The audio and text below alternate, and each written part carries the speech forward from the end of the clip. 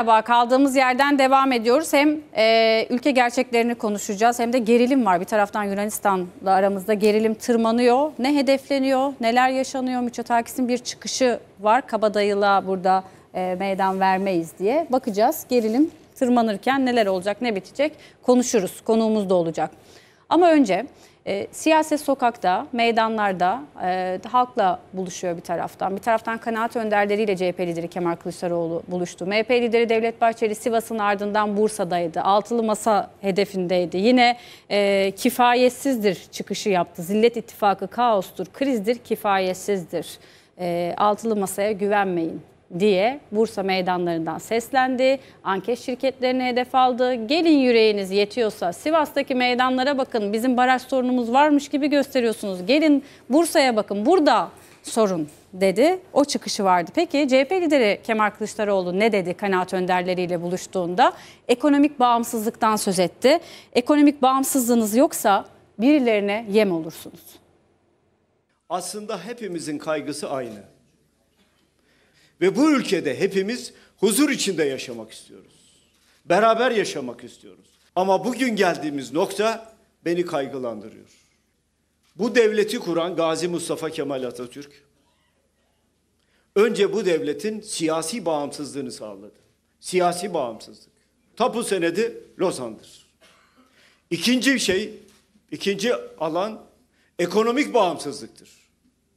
Siyasi bağımsızlığınız vardır ama ekonomik bağımsızlığınız yoksa siyasi bağımsızlığınız her zaman tehlikededir. Bugün geldiğimiz noktada bizim ekonomik bağımsızlığımız var mı? Şimdi değerli ülkücü kardeşlerim, Türkiye sevdalısı olan kardeşlerim, o zaman hep beraber olmak zorundayız ve birlikte olmak zorundayız. Bizim iki kırmızı çizgimiz var. Bayrağımız ve vatanımız. Bayrağımızın altında özgürce yaşamak zorundayız. Eğer bu olmadığı takdirde birilerine yem olursunuz. O yoksul cumhuriyet hiçbir zaman dilencilik yapmadı. Birisinin kapısının önüne gidip bana para verin demedi. Bir gerçeği çok iyi bilmemiz gerekiyor. Osmanlı niye battı? Sanayi devrimini kaçırdığı için battı.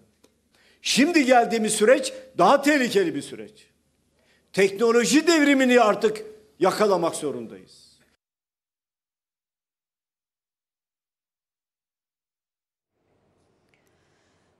CHP lideri Kemal Kılıçdaroğlu bu konuşmasında kanaat önderleriyle buluştuğunda şunu da söyledi. Dedi ki Açıklayın kardeşim mal varlığınızı. Ben açıkladım göreve geldiğimde. Eşimin yüzüğüne kadar açıkladım. Çalmadıysan, çırpmadıysan korkma. Açıkla mal varlığını. Tüm siyasetçiler mal varlığını üstelik de sadece ilk dönemlerde değil her yıl açıklamalılar. Yani bir yüzükle siyasete girdim diyenler de her yıl mal varlığını, kendisinin, ailesinin, çekirdek ailesinin, yakınlarının mal varlığını açıklamalı. Siyasete bu gelmeli. Korkmayın diyor CHP lideri Kemal Kılıçdaroğlu. Çalmadıysan, çırpmadı, çırpmadıysan niye korkuyorsun ki? Çalmadıysan, çırpmadıysan, bir başkaları yoksullaşırken sen birilerinin hakkını gasp etmediysen niye korkuyorsun ki? Açıkla. Mesela birden fazla yerden maaş aldıysan ama aldığın senin hakkınsa korkma sen de açıkla. Siz bir maaşı bulamazken ilk bölüm boyunca konuştuk. O bir maaş için nasıl çırpındığımızı konuştuk. İş cinayetlerinde öldüğümüzü konuştuk. Birileri çifter çifter maaş alıyorlar. CHP Zonguldak Milletvekili Deniz Yavuz Yılmaz. O e, bürokrasi de çift maaş, üç maaş, dört maaş alanların peşinde hep. Kanun teklifi veriyorlar, soru önergeleri veriyorlar. Ne oluyor? AKP ve MHP oylarıyla el kalkıyor. Hayır, araştırılmasın, reddediliyor. Bu defa 3 maaş alan şansımızı açıkladı Deniz Yavuz Yılmaz. İzleyelim. AKP'nin çok maaşlı bürokratlarına bir yenisi daha eklendi. Bakan yardımcısı Murat Zaman'ın 3 yerden maaş aldığı ortaya çıktı. Muhalefet birçok kez gündeme getirdi. Kamuda birden fazla maaş alanları. Kanun teklifi de verdi. Teklif AKP ve MHP oylarıyla reddedildi. Gün geçtikçe yenileri eklendi birçok isim birden fazla maaş almaya devam etti. Hazine ve Maliye Bakan Yardımcısı Murat Zaman, o da çok maaşlı bürokratlar kervanına katıldı. Bakan yardımcılığından 53.800 lira, Petkim Yönetim Kurulu'ndan 49.000 lira, Exim Bank Yönetim Kurulu üyeliğinden 18.815 lira, yani aylık toplam geliri 121.615 lira.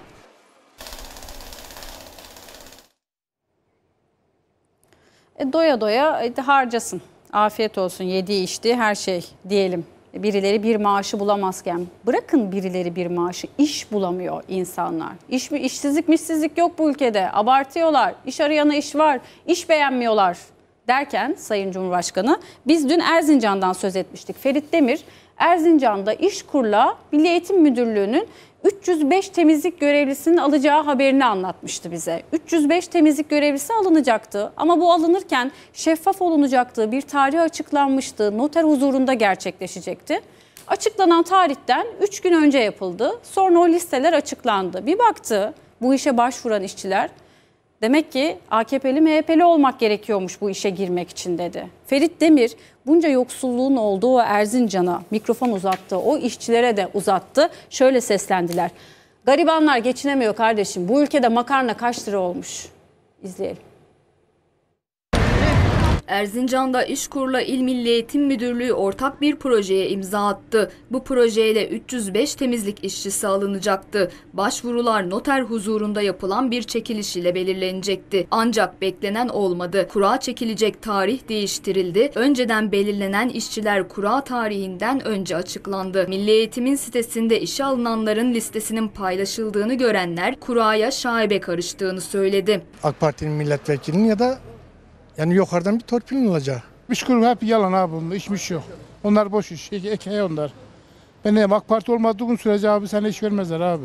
Çok yere başvurduk. Zaten e, köyünü söylediğin zaman belli oluyor. Erzincanlılar hiçbir haber verilmeden çekiliş tarihinin değiştirilmesine ve kapalı kapılar ardında yapılmasına tepkili. İşkur'a güvenmediklerini söyledi. Gü- Güvenmiyorum adamlara. Ben adama kaç kere gittim iş vermedi. Oğluma gittim oğluma bile iş vermediler. Üç defa oğlum yazdı iş vermediler oğluma. İş yok güç yok. AK Partili olmam lazım ki bana iş versinler. Yoksa iş vermezler. İşe girmek için ne yapmak lazım? AK Partili olman lazım. Yani AK Partili olmayınca olmuyor mu? Ya olmuyor abi. CHP'li olduğu zaman olmuyor. Ya AK Partili olman şart. Bugün Erzincan'daydık. Mikrofonumuzu sokaktaki vatandaşa uzattık. Vatandaş işsizlikten ve hayat pahalılığından şikayet etti ve en çok da iş bulamamaktan şikayet etti. Geçinemeyenlerin sorunu ortak. Gelirleri giderlerini karşılamıyor artık. Garibanlar geçinemiyor kardeşim. Geçinemiyor. Geçinemiyor. Bir, bir makarna kaç para olmuş? Peki geçinebiliyor mu millet? Geçinemez.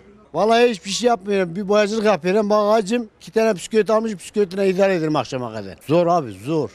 Bir şey alamıyorsun. Bir, bir kilo domates alamıyorsun. Bir kilo salata alamıyorsun. Çocuklarına bir şey götüremiyorsun. Ne alabilirsin ki? Alım gücü düştü, işsizlik arttı. Burada işsiz gençlerin yapması gereken tek bir şey var. Gidecek AKP'ye üye olacak tamam mı? AKP'li sense iş bulursun. AKP'li değilsen iş bulamazsın. Önceden alışveriş yapabiliyorduk aylık. Şimdi aylık yapamıyorum. E, aylık yapamıyoruz. Günlük yapıyoruz. Günlük yaptığımızda da tane tane alıyoruz. Fiyatlar düşecek yaz gelince. Hiç telaş etmeyin demişlerdi. Yaz bitti. Eylül'deyiz. Şimdi kış gelecek. Onun telaşı başladı. Yaz ayında ucuza domates yemeden yaz ayını kapattık. Kış nasıl gelecek? Kış çok zor gelecek. Hem de çok çok zor gelecek. Elektriğe, doğalgaza gelen zamlarla geldi çünkü kış. Görelim. Yaz sona erdi, daha kış yüzünü göstermeden tüketici kara kara düşünmeye başladı. Başta doğal gaz olmak üzere iğneden ipliğe gelen zamlar ve eriyen alım gücü kış aylarını kabusa çevirecek. Son bir yılda kışlık giysiden doğalgaza, odun ve kömüre gelen zamlar %400'e ulaştı. Özellikle 2021 yılı Eylül ayı ile 2022 Eylül ayının fiyatlarını mukayese ettiğimizde korkunç bir tabloyla karşı karşıya kalıyoruz.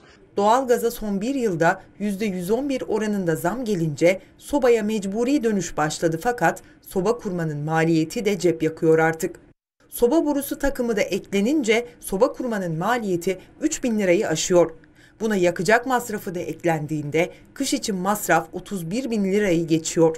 Sayın Cumhurbaşkanı bundan birkaç hafta önce yapmış olduğu açıklamada Avrupa bu kışı nasıl geçirecek diye kara kara düşünüyor derken kendi yurttaşlarının 84 milyonun bu kışı nasıl geçireceğini hiç hesaba katmamış. Hesaplamayı CHP Adıyaman Milletvekili Abdurrahman Tutdere yaptı. TÜİK madde sepetine göre yapılan hesaplamada geçen yıla göre odunun tonu 893 liradan 2500 liraya, ithal kömürün fiyatı 2800 liradan 7360 liraya, tüp gaz fiyatı 137 liradan 355 liraya yükseldi.